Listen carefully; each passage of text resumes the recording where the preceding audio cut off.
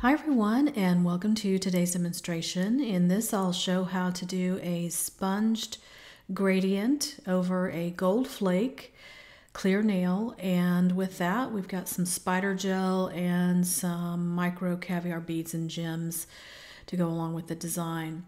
Now this is done over a clear nail and some of the supplies you'll need are your gold flakes. In this case, I used a gold leafing, but you can use any type of gold flake that you have on hand. I've used uh, Johens transfer gel, but you can use any clear gel since um, it's best to apply it into the wet layer. And to top it, I've used Gelfinity Matte Top Coat. For the gradient, I used EMI Biscay, and Moyra number nine, uh, painting UV gel.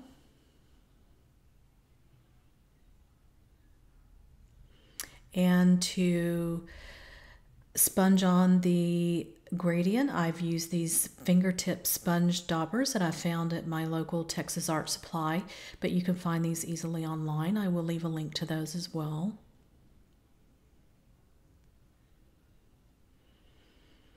Now I'm going to go ahead and show you some options that I did. I was playing around and, and wanted to give my sister-in-law some options.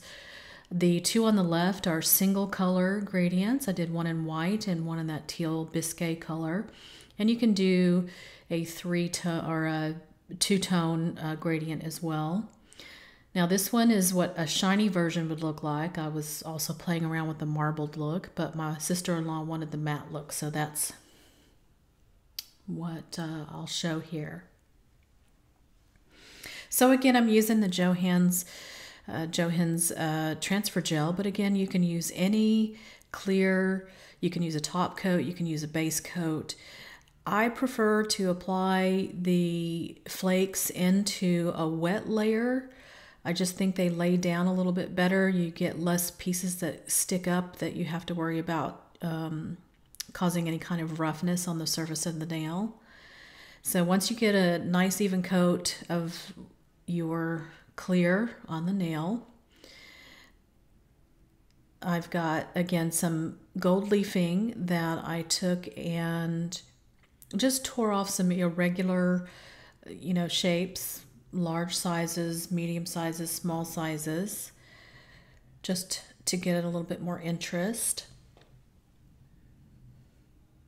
And I'm just going to pick up the pieces and uh, apply them randomly onto the nail, making sure that they do lie as flat as you can get them.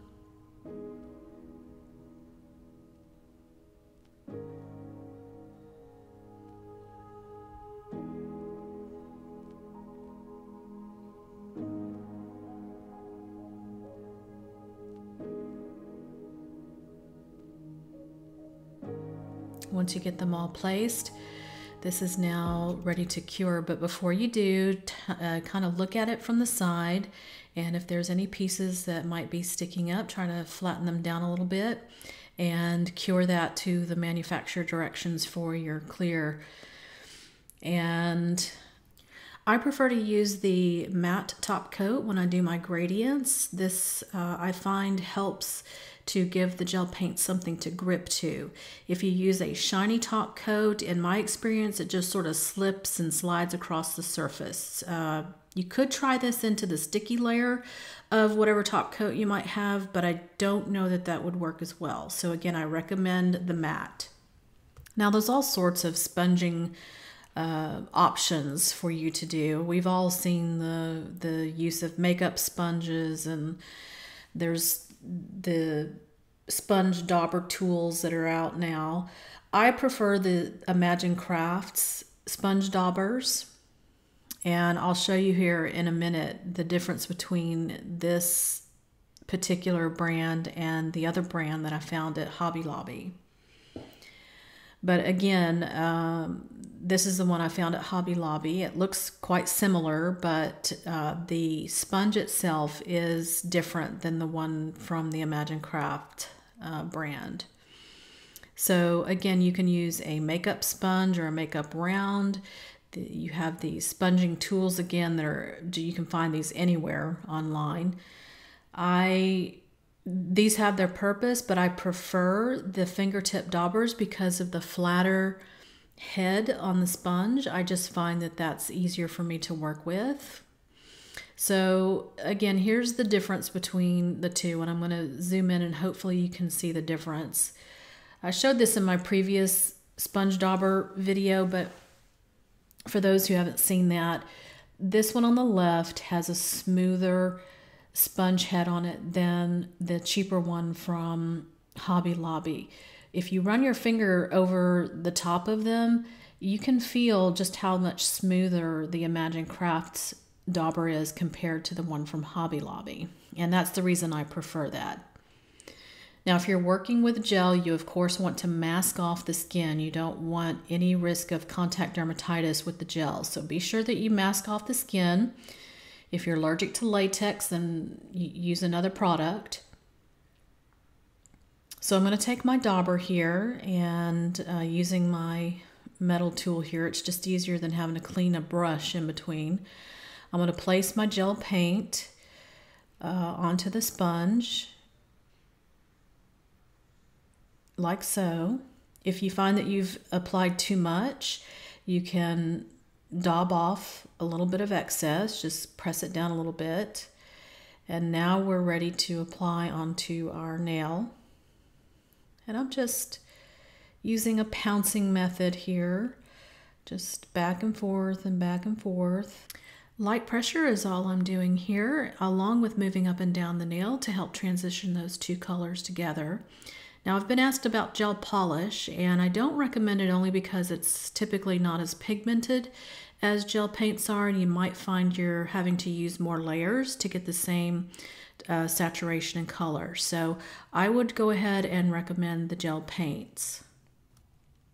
Now to smooth the transitions even more on the nail, I like to take a, a, clean dauber, spray a little bit of alcohol on it, dab the excess off on a paper towel, and then come through and lightly uh, pounce across the top of that surface just to smooth that out a little bit more. And once you get the desired look, you can go ahead and cure this in your lamp. I cured this for 30 seconds in an LED lamp. You always want to cure each layer before you continue on with the next layer. I'm taking my dauber and I'm applying more gel.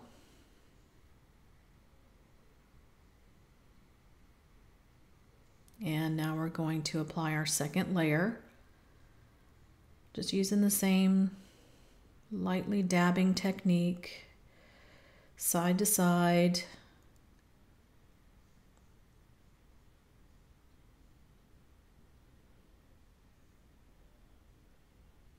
taking that clean dauber with just a little bit of alcohol again and coming in and smoothing that transition. And now we're doing the third layer after curing.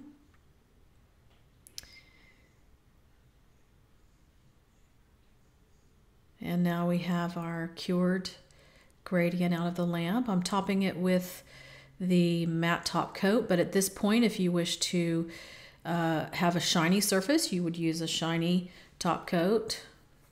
I've had many people ask me about cleaning the daubers. It's very simple. You just saturate it with a little bit of isopropyl alcohol and keep dabbing it until uh, spraying alcohol and dabbing it on a paper towel until you remove uh, the gel and pigment. Now, you might have a little bit of residual staining.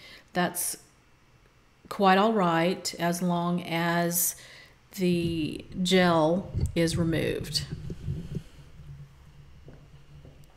Now we're going to go ahead and start with our Johens elastic gel. I really do enjoy this gel. It's fun to play with. It is super elastic, very stringy, very nice to play with. This gold looks very nice on the nail as well. I'm just using my, again, my little pointed metal tool here to apply it. You can use a daughter, you can use, uh, I find that if it's pointed, you'll get finer lines. So that might be a, a tip. I also find that um, you want to, to kind of cut off those lines along the edges of the nail. If you don't, that gel will tend to draw up and create these uh, kind of thick blobs on the end of the nail. So something to keep in mind when you're using the spider gel.